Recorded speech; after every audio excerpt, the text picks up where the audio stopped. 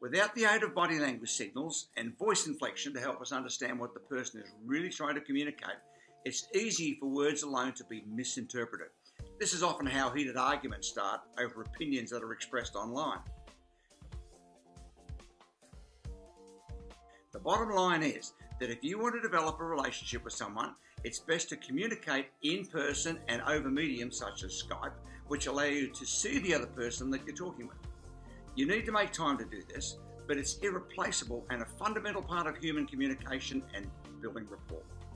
Once you know someone well enough, text and other social media interactions aren't as easily misunderstood because you know the character of the person you're dealing with.